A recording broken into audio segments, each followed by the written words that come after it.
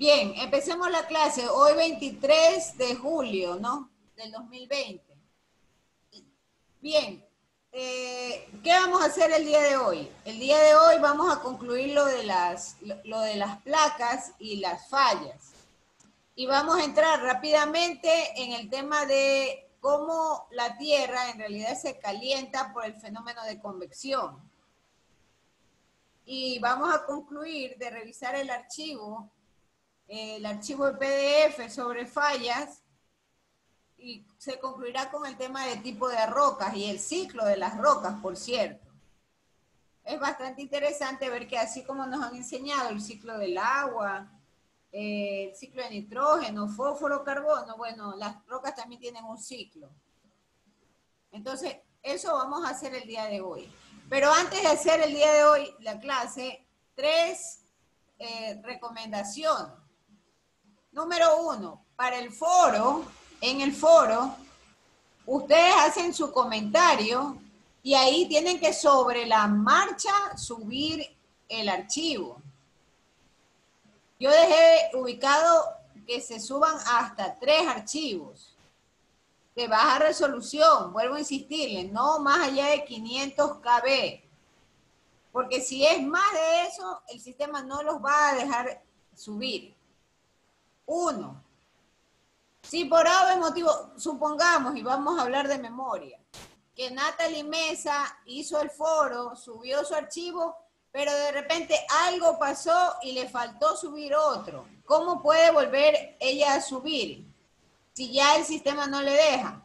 Hay una opción como especie de contrarréplica de comentario. Entonces tiene que buscar a alguno de los compañeros que participa del foro y ahí subirlo como si fuese una contrarréplica. Ya cuando se revise, se verá que no es que ella está haciendo una réplica de un comentario, sino que está eh, haciendo una añadidura de comentario. Eso ya no importa. Pero ella podrá subir su archivo o lo que le faltó en la primera parte. Primera recomendación. Segunda recomendación. Señores, yo he encargado a Nicolás y a Ingrid que los persigan, porque no pueden ustedes enviarme tareas por correo, no porque no quiera recibirlos, sino porque la plataforma tiene que registrar su participación y sus entradas. Caso contrario, no se puede justificar las notas. El tema de la conexión para mí es importante, pero nuevamente es como, es como mi clase presencial ustedes verán que yo no les voy a dar ni un solo punto en la clase presencial por ir a la clase. Eso es obligación suya.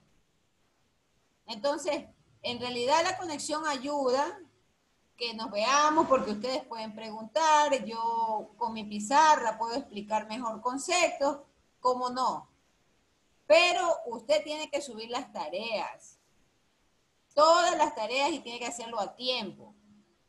Hay personas que se les olvida aplastar el botón de enviar. Por favor, cuídese de ese tema. Eso se le emite a un joven, pero ustedes ya eh, son de otra época, son de otra era, así que no pueden presentar eso como justificación. Y tercero, asegúrense de verificar la capacidad de lo que van a enviar antes de hacer el envío.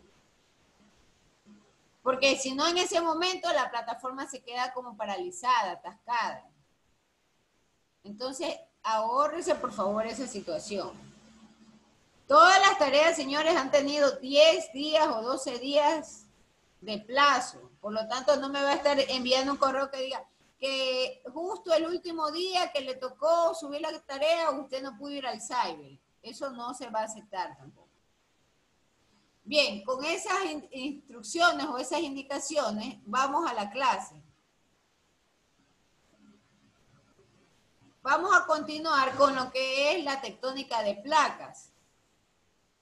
Y dentro de las tectónicas de placa, tenemos la explicación del modelo de convección. Pero antes de entrar al, al modelo de convección, solamente para hacer una retroalimentación aquí está la teoría del ciclo de Wilson. Y Wilson se encarga justamente de explicar cómo evolucionan las, placas.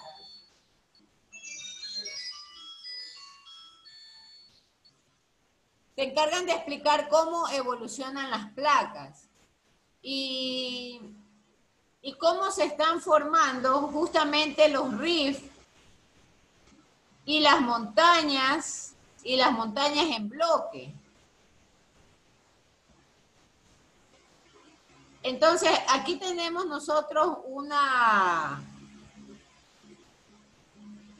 el valle escalonado, de el valle escalonado y además limitado por, por las fallas.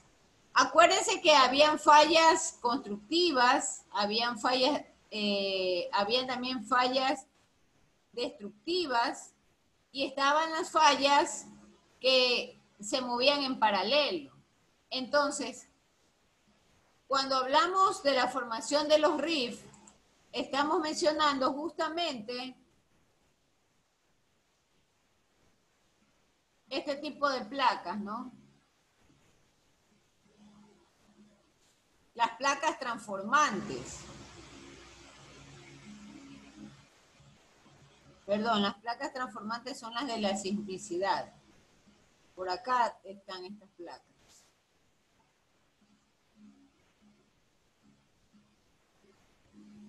son estas, las placas de límites divergentes. Recuerda que las que convergen se acercan. Y al momento en que se acercan, normalmente el movimiento hace que una de ellas se traslape o se produzca lo que se le conoce como subducción. Decíamos que inclusive estas placas convergentes pudieran ocasionar o ser la base de un movimiento o de una erupción volcánica. Mientras que las que divergen o las que se separan crean huecos. Y estos huecos son aprovechados para la formación de de los océanos. Pero antes de ser océano, se construyen justamente estas zonas dorsales que nosotros le, podemos también llamar los riffs, que son los pliegues. Entonces, Wilson fue una, un, un estudioso justamente de los movimientos de las placas. Y hay una teoría que está llamada con su nombre, ¿no? el ciclo de Wilson. Entonces, él explica cómo se forma el Mar Rojo a partir de la formación de, los riffs. También habla o explica de cómo se forma el Atlántico y el Pacífico, los océanos. Y menciona o especifica el origen de las cadenas montañosas que hay en estos océanos y cómo, y, cómo se dio lugar a esta, a esta, a estos océanos y a estas cadenas montañosas. Dentro de esta explicación, dentro de esta explicación, también el ciclo de Wilson da lugar al estudio o a la teoría de la formación de los Himalayas. Y estamos hablando ahora de la superficie terrestre. Estábamos hace unos momentos hablando de las partes, de las partes oceánicas. También este ciclo es aplicado para la parte terrestre. Y menciona, no es cosición, es colisión, por si acaso, ¿no? A veces eh, hay errores en la escritura. Que la etapa del Himalaya se produce por la colisión de dos placas y esto ya lo sabemos por la teoría anterior. Las dos placas se colisionan y se forma el, área de subducción. Y entonces ahí tenemos los mantos que van a dar lugar a la formación de, de esta cadena montañosa en la superficie terrestre. Ahora bien, ¿qué ocurre con respecto al calor? Porque sobre esto es de lo que vamos en realidad a conversar. Entonces, la teoría de la tectónica de las placas indica que hay cambios de temperatura en la Tierra y son cambios y son cambios que se dan justamente por transferencia de calor. La transferencia de calor es una de las áreas de estudio de la física. Y como tal, explica cómo el calor de una parte A es llevado o conducido a la parte B. De manera tal que hay un dibujo que me gustaría con ustedes desarrollar para que puedan entender de qué se trata el fenómeno de convección. Antes de mostrarles, por supuesto, la, la figurita de la Tierra.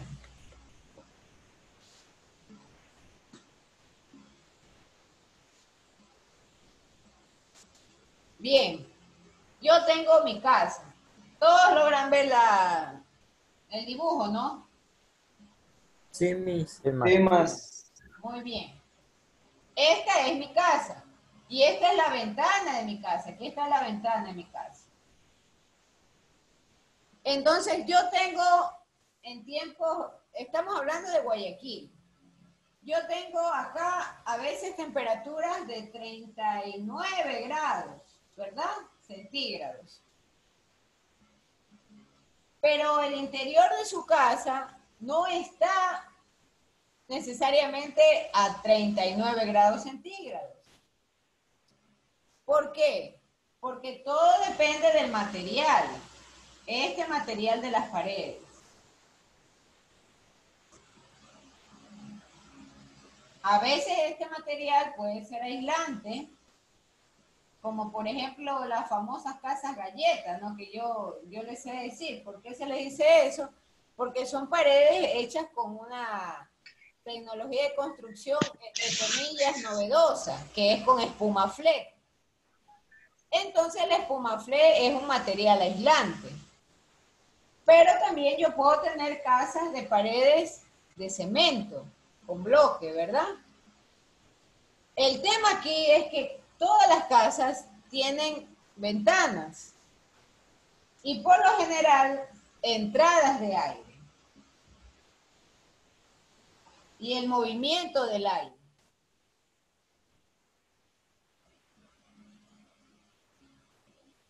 Entonces, en este caso, el aire, el aire se convierte en un fluido Esta palabra nunca se olvide, estamos hablando de la convección.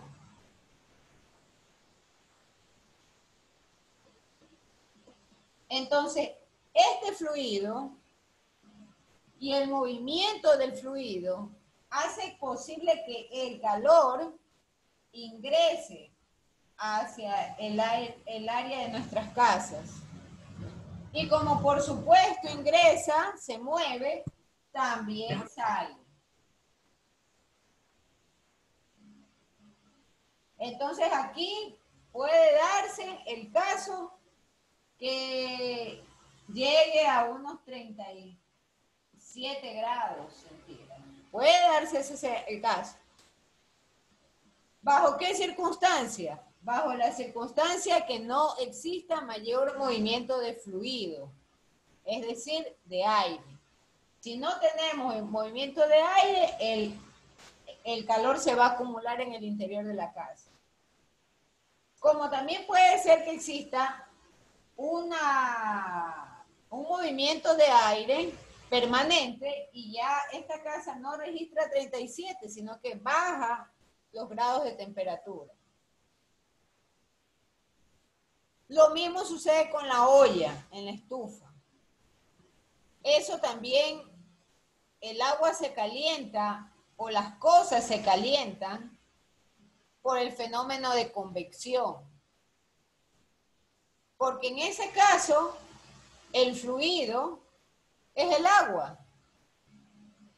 Es el agua. Ahora, se le denomina fluido, por ejemplo, al aire, al gas y al agua. Y estamos hablando ya de un principio termodinámico. El principio de la transferencia de calor por convección. Alguien va a decir, pero ¿y los materiales? Los materiales también forman parte de este mecanismo de convección. Los materiales. ¿Alguna pregunta, señores, por ahí? ¿O algo que no esté claro? Vamos ahora sí a pasar al tema de la Tierra.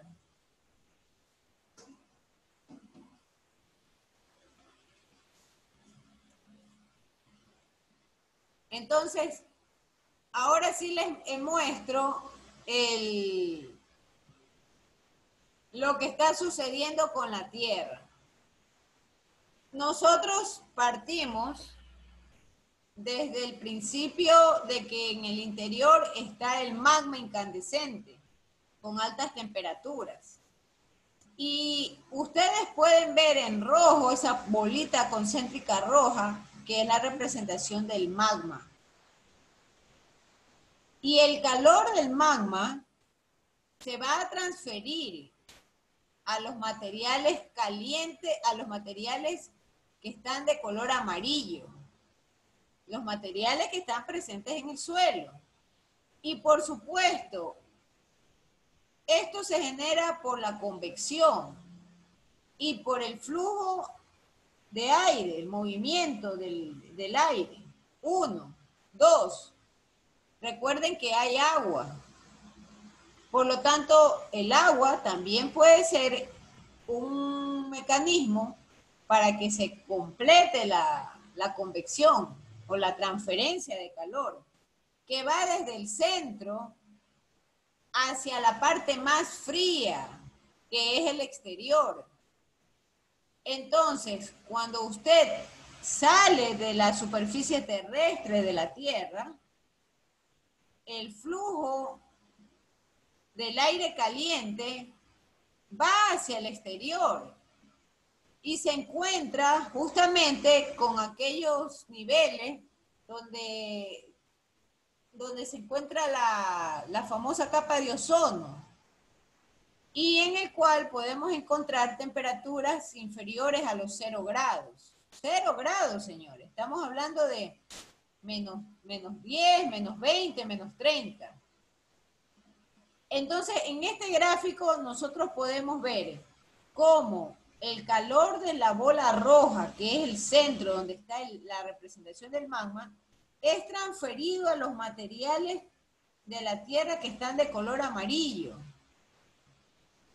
Y de ahí, y de ahí, la temperatura va descendiendo hasta llegar a la parte fría externa de la Tierra. En ese descenso se genera una disrupción y esa disrupción se le llama subducción. Preguntas, por favor, señores. Sí, sí, Miss, tengo una pregunta, eh, Moisés Miranda. Eh, el término dislucción, ¿cómo lo explica? Porque no me queda claro qué es una dislucción, no, no lo entendí. Ya, usted tiene un cambio y llega un instante en que ese cambio no es gradual, sino que es abrupto. Los los expertos o los científicos de la, de la geoquímica lo definen como la transferencia de calor o los cambios de temperatura que son descendidos por subducción. Y si usted recordará, ¿cuándo se generaba la, la subducción en el movimiento de las placas? Usted mismo, Moisés.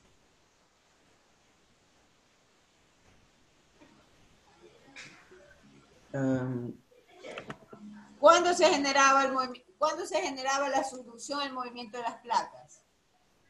Subducción. Así es. Cuando, cuando, Cuando se las elevaba. placas convergen, ¿verdad? Las la placas, sube- las placas hacen este movimiento, convergen y como convergen y su movimiento es hacia, hacia adentro, chocan y sucede esto. De manera tal que esto que está aquí abajo, esto, se calienta. No, esto de aquí genera una especie de quiebre. Y de ahí yo tengo un movimiento abrupto en la capa que me genera la, famo- eh, la famosa erupción volcánica. O un sismo también. Entonces, en el tema de la transferencia de calor, no es que vamos a generar un, un- un sismo, pero sí generamos un cambio, una, una disrupción, o sea, no es la transferencia de calor de manera uniforme, como nosotros pensaríamos que se pueda dar, por ejemplo, cuando yo enciendo mi ollita, le pongo agua y pongo a cocinar una papa. Yo ahí le estoy transmitiendo el calor o la temperatura por convección a través del calentamiento de un material y a través del calentamiento del agua. Acá genera disrupción porque el, la temperatura va a descender y habrá momentos en que descienda de manera rápida, abrupta ahí se genera la, la subducción. La subducción en el nivel D, que es lo que le menciona su, aquí su texto. Porque le toca cambiar direct, eh, rápidamente hacia la parte fría, a la litósfera fría, que es lo que se ve en azul. ¿Dónde está esa litósfera, ¿dónde está esa litósfera fría? Está en la, en la estratosfera, pues no estratosfera, exósfera, ionósfera. ¿Está claro? hacer una preguntita. A ver, O Félix. sea que, o sea que la subducción es cuando las placas, eh, como usted lo explicó, chocan Convergen. y, Cuando y las placas se convergen, meten transversalmente. convergen y, y chocan y se montan una encima de otra. Ahí Claro. se genera la subducción. Sí están viendo todos el marcador, ¿verdad? Eh, también otro aporte que yo también estuve leyendo, le habla Alvarado Pinto. Juanito, ¿cómo Eh, está? Sí, eh, lo, cuando yo estuve haciendo el deber, también hay una, un, un dato curioso que dicen, que la placa que va a converger es la que es más densa. En el caso cuando es una placa continental y una oceánica, la que va a salir perdiendo, en pocas palabras, es la oceánica y por lo tanto esa de ahí es la que va a converger y llega a lo que sería hasta el hasta lo que Es la sería que- la parte la interna, no recuerdo, mire, es la que va Ajá. hacia abajo. y Esa se es transforma la en magma. oceánica, que dice Juanito. Esa es la que pierde. Pero se genera un vacío aquí. Entonces a esto le llama subducción, área de subducción. Se generan vacíos, se generan eh, áreas en toda esta parte de abajo. Entonces lo mismo sucede con la temperatura y con este fenómeno de transferencia de calor. No es uniforme la transferencia de calor. Habrán sitios en los cuales cambia bruscamente de temperatura y se genera o, se, o, existe este, este cambio por la subducción. Bien, continuemos. Creo que había una... Ya, esto corresponde a las fallas destructivas. Entonces, los terremotos es justamente asociado a la convergencia también de las placas y a las transformantes. Entonces, las placas transformantes son las que me generan riesgos sísmicos. Por ejemplo, por ejemplo, en la teoría de las placas o de el origen de los terremotos, se habla de un foco o de un epicentro. ¿Qué significa esto cuando nos dicen los expertos? Hay el epicentro se produjo a, a tres horas de Guayaquil. Quiere decir que en ese lugar, en la profundidad, se generó ese movimiento de placa. Y ese fue el epicentro. Y el epicentro es el sitio que está más próximo a la superficie, donde hubo ese movimiento. ¿Qué más conocemos? Conocemos que los sismógrafos son aparatos especializados justamente para evaluar el movimiento de las placas tectónicas de la Tierra.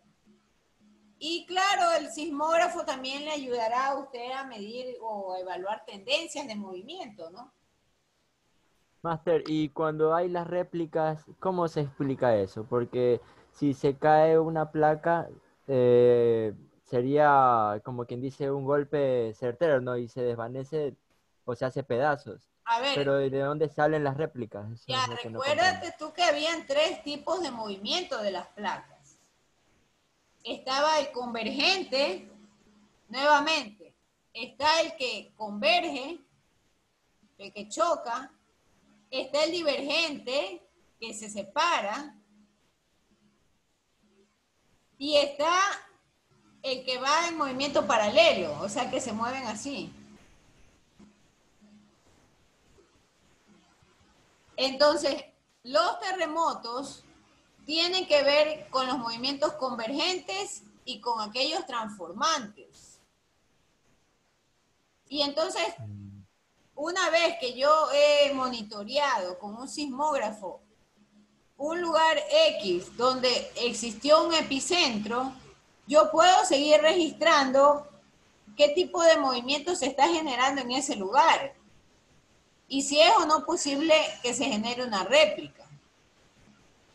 No con Ah, exactitud, pero sí es posible predecir que la réplica se va a generar aproximadamente en tanto tiempo. Para eso se requiere una observación permanente y continua del sismógrafo y de las áreas de estudio, ¿no? Ahora, alguien va a preguntar, pero ¿y la Tierra es tan grande? ¿Y cómo hago? Bueno, ahí viene su teoría de geoquímica, ¿no?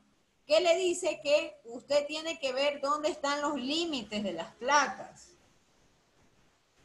Y viendo dónde están los límites de las placas, empezar por eh, observar esos límites. Porque en realidad esos límites son los peligrosos y los que, los que pueden tener esos tres tipos de movimiento. Bueno, ahí tenemos una gráfica de los sismógrafos, ¿no? Y del tipo de vibración de los terrenos en las diferentes direcciones. Entonces, mire usted los parámetros que analiza. Analiza el movimiento vertical, analiza el movimiento de norte a sur y analiza el movimiento del este hacia el oeste. Y según estos tres parámetros, se puede definir si, si las placas están teniendo un movimiento convergente, divergente o paralelo.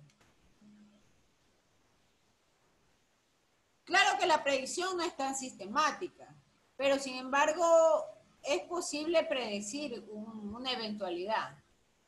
Lo mismo sucede con el caso de los tsunamis, los tsunamis y los maremotos.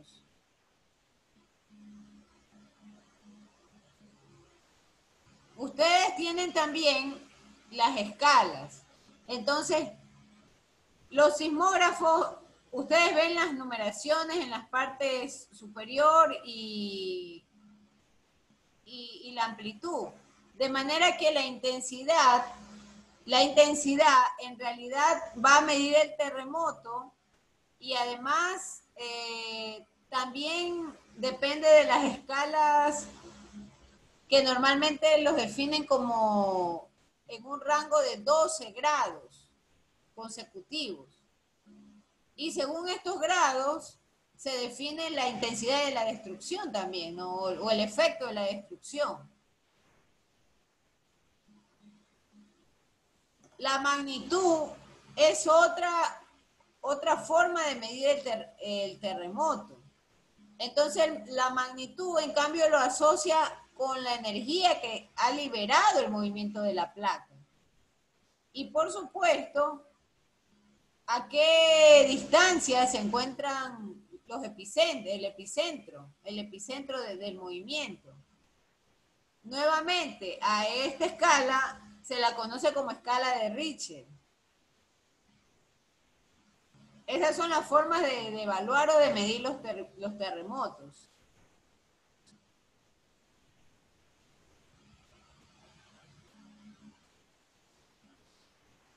¿Qué pasa con los volcanes?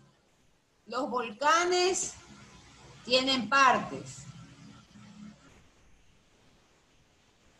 Y este dibujo me gustaría mucho enfocar, porque este dibujo nos va a permitir introducir el tema del ciclo de las rocas. Entonces lo vamos a ampliar un poco más.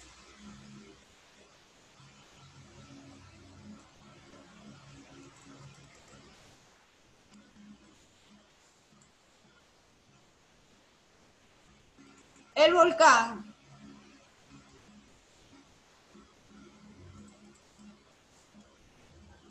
tiene un cono. Y este cono, por supuesto, es el que es el cono de salida de la nube eruptiva. Y la nube eruptiva tiene implicado la presencia de cenizas o, partes de, de estas rocas. Además de eso, además de eso, el sitio de salida específico se llama cráter. Y por el cráter usted tiene la expulsión de la nube eruptiva y tiene también la lava, el flujo de lava incandescente, que es lo que ustedes ven de rojo. Ahora bien, el lava es un material semisólido. ¿Por qué digo semisólido? Porque es el, magma incandescente que en realidad cae hacia la Tierra. Y aquí es muy importante, porque al momento de expulsar el magma a temperaturas altas, también es posible encontrar el famoso flujo piroclástico. Y este flujo piroclástico se asemeja mucho a, una lluvia de roca Conforme el flujo piroclástico sale, sale por el domo, va bajando el domo del lava, la temperatura va cambiando cambiando. Entonces, ya se empieza a solidificar hasta quedar lo que nosotros vemos de color oscuro en el suelo. Y nosotros podemos pensar que eh, eso presenta conocimiento, pero en realidad es magma que se ha enfriado. Y ha el estado sólido, completamente frío de roca. Entonces, ¿por qué me tomo la molestia de ampliarles esto? Por el flujo del ciclo de las rocas está muy ligado al tema de estructura volcánica y de, momentos eruptivos que se generan por el movimiento de lava es una forma de generar calor. Mucho ojo, es muy importante. Es una de las formas también de desde la temperatura más alta hasta la temperatura más fría. En ese momento nosotros decimos que había convección y generaba o, o producía destrucción. Pues es un momento o de los ejemplos más clásicos, los saliendo a temperaturas elevadas, cambia la temperatura para quedar justamente en material como una forma de seguimiento. Entonces,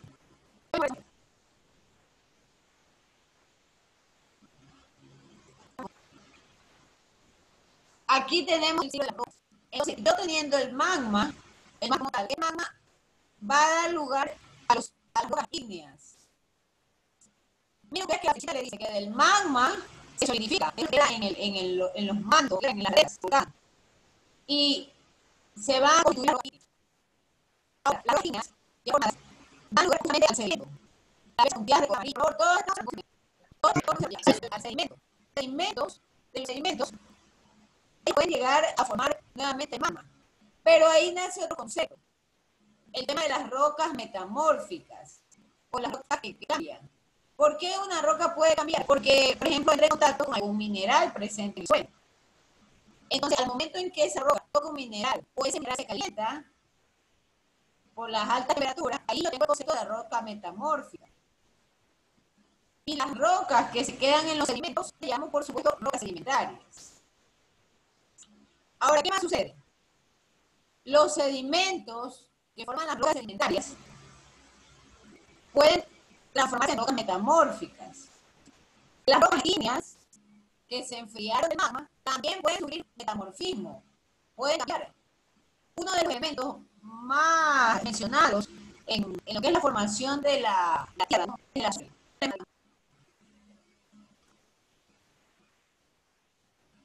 es el hierro. Y nosotros ahí tenemos justamente en esta lámina, eso dice en el de la formación de los basaltos de andesita, de la cita, de la riolita, todos ellos son rocas eh, del magma que enfriaron y forman estos depósitos o estos sedimentos. Y mucho muy importante, acá no está considerado todavía el hierro, el azufre. Y según, según sus contenidos, inclusive estamos hablando de la presencia de, del silicio.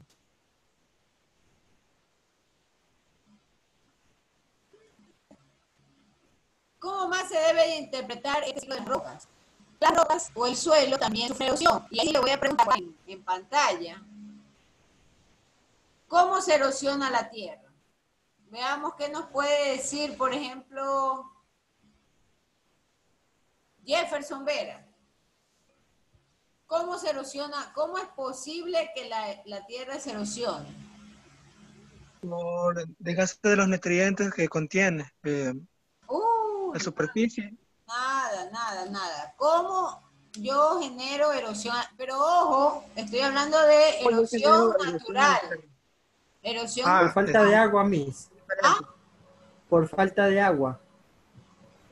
O por excesos también. Puede ser. Correcto, pero el agua, naturales. Pero el agua es uno, uno de los mecanismos de erosión natural. Yo puedo inclusive erosionar el cauce de un río por el paso del agua. Eso es muy cierto y es muy válido. ¿Por qué más, puede, por qué más se puede erosionar la tierra? Mire, con, las, con, la, fuerza de los vientos. Yo estaba viendo el otro día. Perfecto. ¿Quién dijo eso? Que alguna Juanito dijo, creo. Miranda. Juanito creo que dijo. Correcto, la fuerza del viento. El viento también puede erosionar la tierra. Y claro, un tercer elemento menos, bueno, yo le llamaría menos agresivo, ¿no? El tema o la presencia de la vegetación, los árboles con sus raíces ellos también pueden eh, generar cierto nivel de, erosión. Entonces, cuando yo genero la erosión, yo tengo movimientos de, del material rocoso. Y al momento de tener ese movimiento de material rocoso, yo ahí puedo entrar al concepto inclusive de la formación de sedimentos de sedimentos y las mismas rocas metamórficas pueden también cambiar o, llegar a formar parte del sedimento. Miren que se menciona de, de la fusión también con el tema de las rocas ígneas, las rocas que han salido directamente de una erupción volcánica, se han enfriado y quedan las rocas ígneas. Entonces, las rocas ígneas pueden volver a fusionarse. ¿Cuándo pueden volver a fusionarse? Muy simple, cuando yo tengo un movimiento de placa en el cual se, hace, se puede hacer una grieta y la tierra se hunde. Entonces, este material de roca ígnea puede llegar nuevamente a la fusión y nuevamente formar el magma, parte del magma. A esto es lo que se le conoce como el ciclo de las rocas.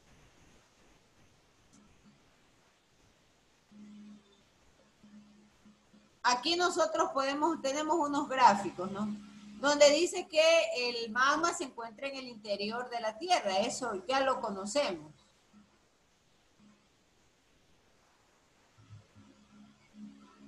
Y acá hay un gráfico que va explicándole, ¿no? Que a partir del magma y del enfriamiento y su solidificación se forman las rocas ígneas. Entonces, este, hay tres tipos de enfriamiento. El enfriamiento, el enfriamiento eh, volcánico, cuando se enfrían en el exterior del volcán, las plutónicas, cuando un grupo de ellas se queda, por ejemplo, en, en el cono y no salen por el cráter, se cristalizan en el interior. Y las que están en los filos o en las grietas, que le llama las filonianas. Esas son el grupo de rocas que se enfrían y se quedan en grietas. Nuevamente, usted no piense en un volcán como una estructura regular, es una estructura irregular, tanto en su exterior como en su interior. Y ahí usted puede apreciar grietas, que es donde se va quedando parte, inclusive hasta del material piroclástico, ¿no? Se va quedando en, esa, en, eso, en esos filos, en esas grietas. Y eso es la roca ígnea. Aquí hay un gráfico muy interesante, las capas de los sedimentos. Mucho ojo, esto es capas de sedimento, más no placa tectónica como tal. Alguien puede decir, pero el sedimento es parte de la placa tectónica. Sí, es cierto. Pero sin embargo, el, sedimento se lo define como un conjunto de arcillas, arenas, gravas, inclusive pueden haber restos orgánicos incluidos en el sedimento, restos orgánicos de cadáveres de, animales, restos orgánicos de árboles, eh, pedazos de ramas, troncos secos, y todo esto se deposita en forma de capas y van formando lo que le conocen como estrato. De ahí que usted ve estos colores o estas divisiones. Entonces, el conjunto de procesos de lo que es la caída, lo que es la, reacción química de, de este material rocoso, a eso le llama la diagénesis. Pero esta diagénesis está asociada solo para los sedimentos. Los sedimentos que están formando los estratos.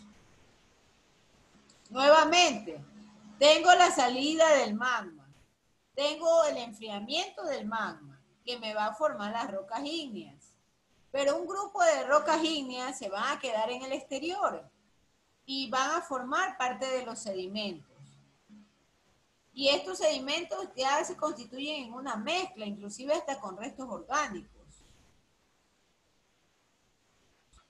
Luego de esto yo encuentro las rocas sedimentarias. Entonces las rocas sedimentarias, que es el material ya más grueso, con, mayor eh, compactación, vamos a decirle, ¿no? Siempre tiene cambios porque estas rocas sedimentarias se, vinculan o se relacionan con otros elementos en la naturaleza. Y entonces vienen factores abióticos como la presión, como la temperatura.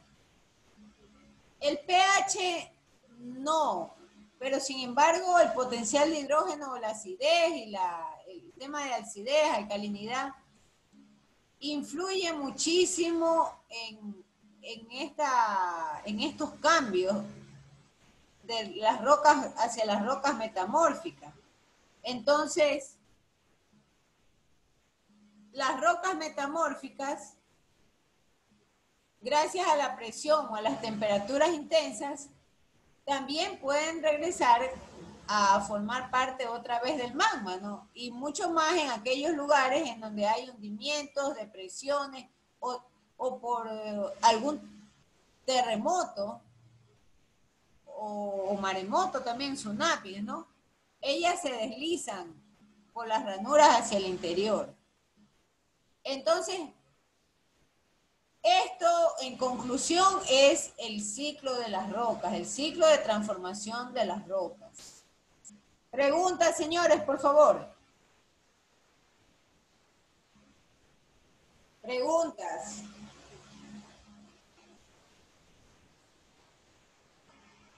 Yo no sé si se han quedado sorprendidos porque no esperaban escuchar eh, todas estas situaciones. Eh, Estoy anonadado. Así es, yo creo que... lo mismo, Máster. Yo creo que eso es lo que los ha impactado, estos cambios. El tema en realidad de la geoquímica, que es el estudio de la Tierra, es un tema que no lo puede usted visualizar de una manera más amplia y más concreta, como por ejemplo el cambio en la calidad de agua, por ejemplo, o los cambios de temperatura atmosféricos. Eso es algo que para nosotros está más visible, más a nuestro alcance. Para nosotros el tema del movimiento de las placas simplemente se ha limitado a la ocurrencia de terremotos o de sismos en menor escala o mayor escala. Y ahora último que hemos visto los tsunamis. Y pare de contar. Más pero sé que con eso, con eso usted trata de decir que en realidad las teorías que están no son tan certeras. No, no. Las teorías son aproximaciones. No son ah, la última palabra, son aproximaciones. Claro, eso es verdad. Por ejemplo, Tuso Wil Wilcox, él habló sobre, o él hizo un estudio de cómo se formaron los océanos, cómo el movimiento convergente abre la planicie, cómo la planicie se llenó de agua y cómo se formaron fosos. Da la explicación. Pero pueden haber otros factores que deba de estudiarse más, ¿no?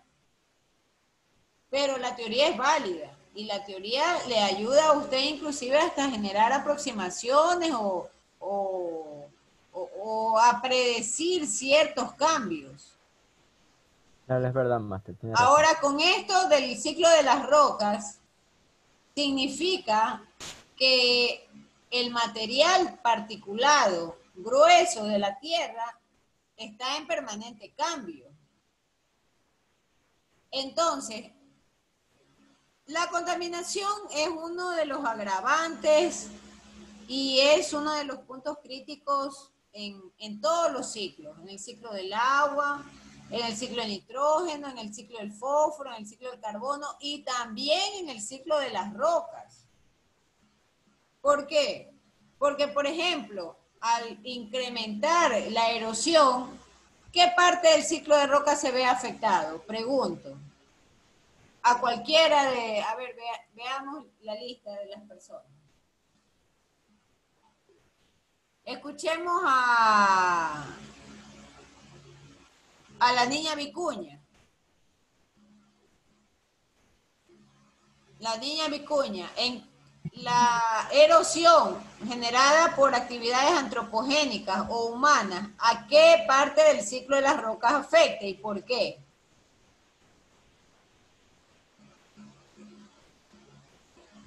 ¿A qué parte afecta, me dijo? Vea eso, esa niña Vicuña está distraída. No, Master, tengo interferencia con la sección de mi internet, por eso la escucho yo entrecortado, pero sí estoy viendo más o menos lo que usted me está presentando dentro de la captura. entonces, si está usted viendo en qué parte del ciclo de las rocas la acción humana tiene más incidencia. ¿Y por qué?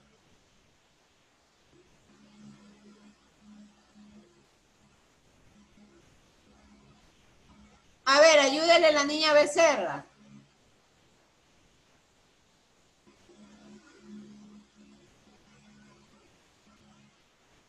La niña Becerra está por ahí escuchando. A ver, ¿qué nos puede opinar la niña Sharon Morales? Esa niña que se sientan atrás. Y ahora ya no, no se pueden sentar juntas con las amigas. A ver, la niña Sharon. ¿Cómo la contaminación o la actividad antropogénica incide en el ciclo de las rocas y en qué parte genera mayor impacto? Uh, la niña Sharon Morales no responde y ahora en el internet peor. La niña Roxana Herrera. Ayúdele Roxana Herrera.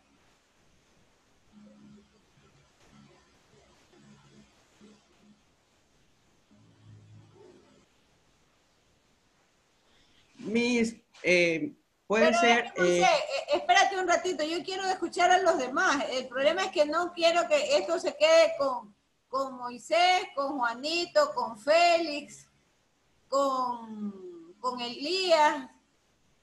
No quiero que se quede ahí. ¿Dónde están los demás? ¿Qué están haciendo los demás? O sea, han dejado esa máquina prendida y se han ido a, a ver televisión. Natalie Mesa. La niña Natalie Mesa. Miss, eh, yo quisiera hablar. Ya, un ratito, un ratito, déjame ver el, resto. La niña Campoverde, María José Campoverde. ¿Qué puede aportar? María José Campoverde. Miss, repíteme la pregunta, por favor. ¿Te das cuenta? Ese es el problema. ¿Cómo la actividad antropogénica afecta al ciclo de las rocas y por qué?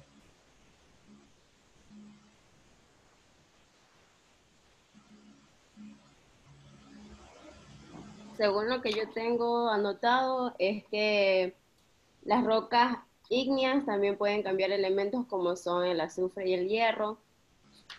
Eh, no, hija, dime la actividad antropogénica. Antropogénica es humano. ¿Cómo la actividad humana puede alterar el ciclo de las rocas y por qué? La actividad humana. Sí.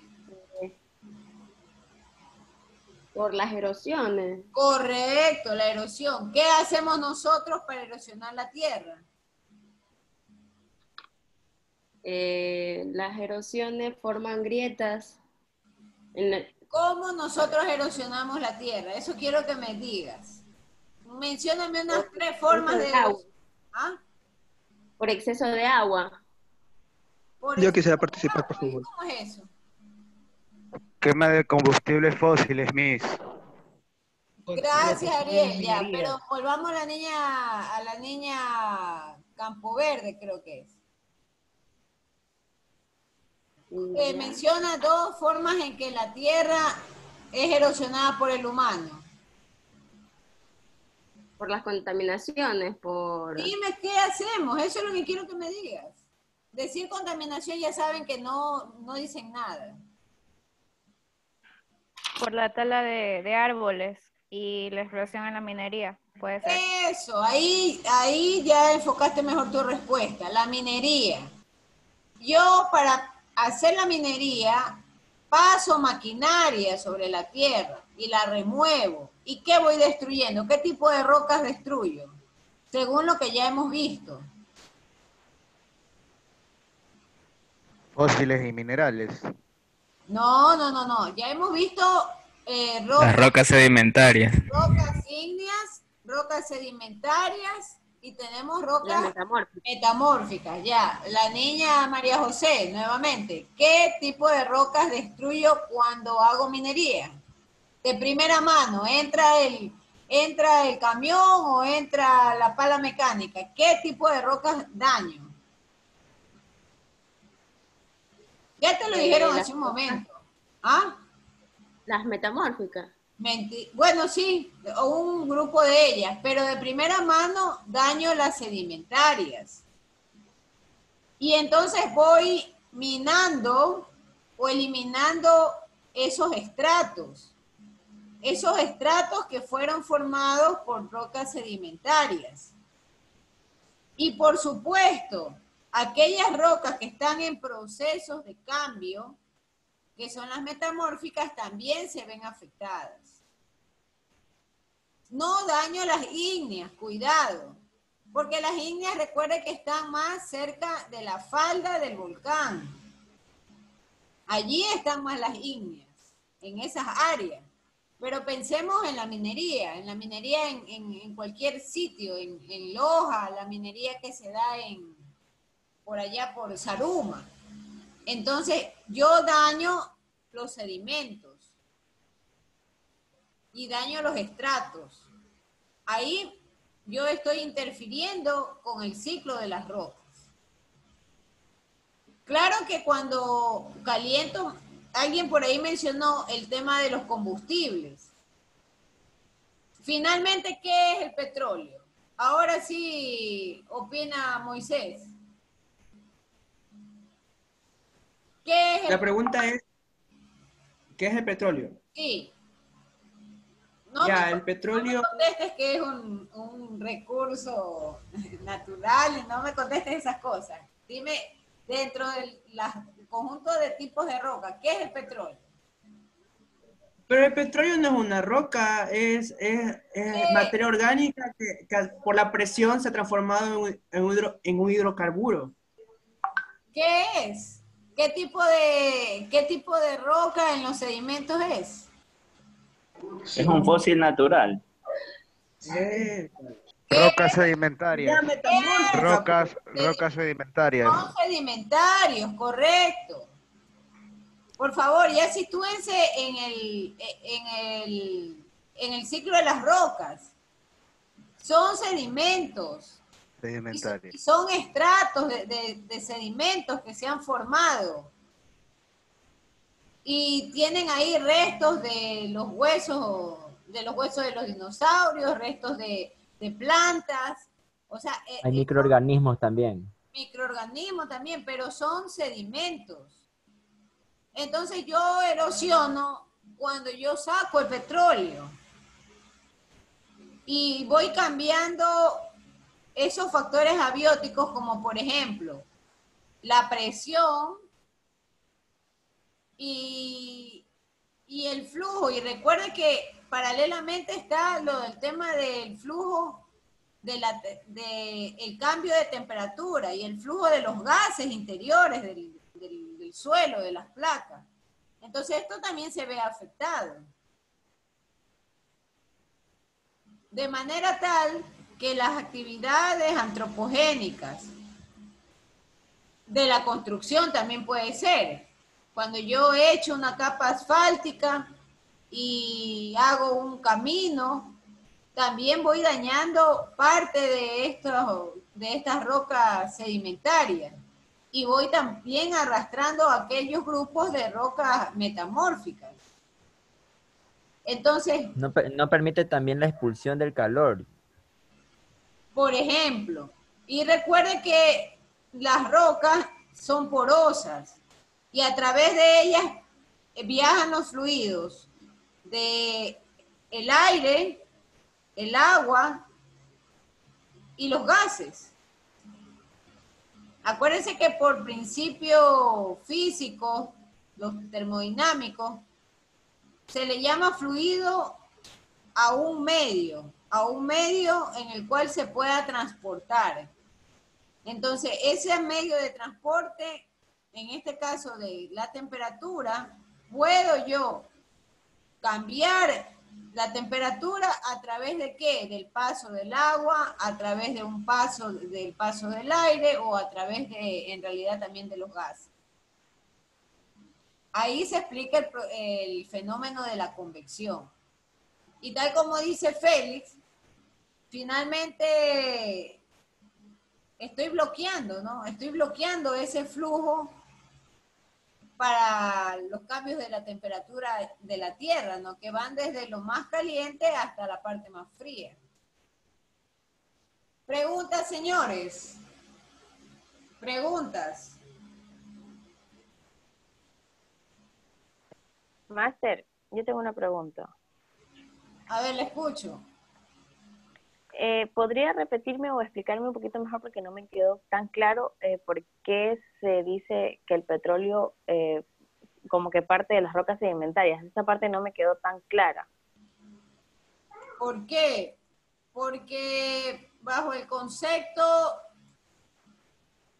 del ciclo de las rocas tenemos tres grupos. Estoy colocando en pantalla. El grupo de las rocas ígneas, el grupo de las rocas sedimentarias y el grupo de las rocas metamórficas. Entonces, las rocas ígneas se enfrían, enfriadas ellas, empiezan a, formar montones de arenas, arcillas, gravas y se unen con restos de restos orgánicos, animales muertos, pedazos de tronco seco, rama seca, y van formando capas que se denominan estratos. Y esto tiene que ver con la formación de los sedimentos. Entonces, la presencia de un depósito de petróleo no es otra cosa sino un sedimento. Y un sedimento que por supuesto está enriquecido con, con, minerales, ¿no? Y con, y, con todo este conjunto de, elementos como arenas. Entonces, por eso se le denomina las rocas sedimentarias. No puede ser una roca metamórfica, porque las rocas metamórficas ya es el paso de la roca afectada por factores abióticos como la presión y la temperatura. Y la roca metamórfica usualmente puede inclusive hasta llegar a fundirse para volver a regresar al magma.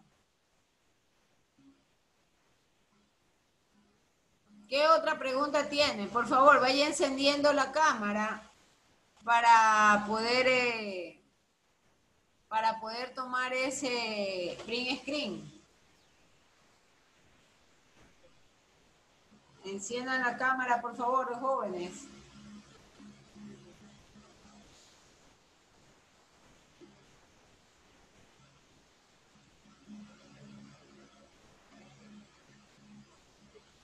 Ya, hasta que todos enciendan, Nicolás creo que tenía una pregunta. ¿Qué pasaba, Nicolás? No, Miss, eh, quería era aportar con lo que le estaba haciendo la pregunta a la compañera. Bueno, aporta pues mientras tomo esta foto. Era sobre que le estaba preguntando dónde se hacía la, erosión por parte del humano y yo le iba a decir que también se iba, se hace la erosión por lo que es la agricultura intensiva, el pastoreo intensivo y el riego artificial. Muy bien, entonces el pastoreo, y, muchas gracias por la aportación, Nicolás. El pastoreo excesivo tiene que ver con los animales, ¿no? Por ejemplo, las vacas, por ejemplo, los caballos, eh, todo lo que es el, las ovejas, el paso de ellos sobre, sobre la tierra, ¿no? Y la comida que se extrae, los pastos que, que se van reduciendo. Eso es parte también de la actividad humana, porque nosotros como humanos, entonces nosotros tenemos nuestros negocios de, de ganadería y ahí se genera, ahí se genera erosión. Ismael Carpio no ha encendido la pantalla. Ismael Carpio no ha encendido la pantalla.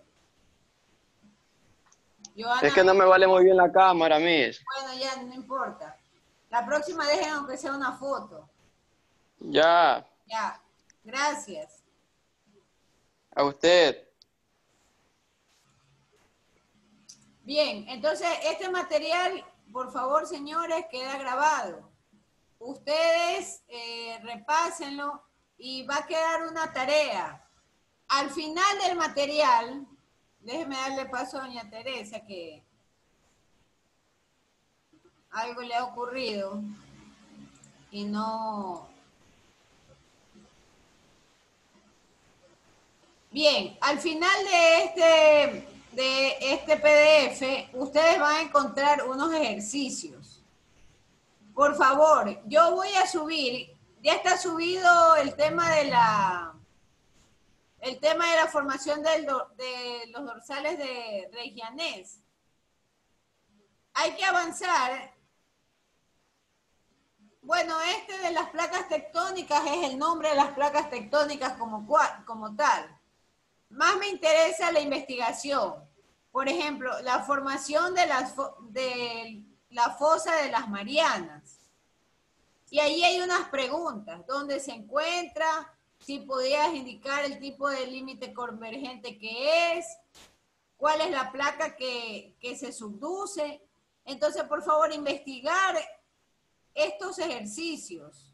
El ejercicio 3, el ejercicio 4. Los daños producidos por los terremotos y, y posteriores El ciclo de también por favor hágalo. Hay que ordenar. De unos seis eventos según el ciclo de Wilson. Tiene que comparar el lo, lo que Wilson explicaba respecto a la, forma, a, a, la divergencia de las placas, la formación de, los, de las planicies, la formación final de los océanos. Algo con respecto a los deberes. Y el riesgo sísmico. Es decir, tienen que hacer de las 3, 4, 5 y 6. Bien, esta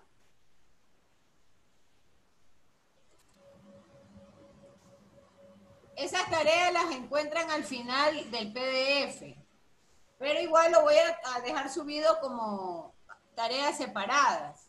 Vaya por favor trabajando en ello.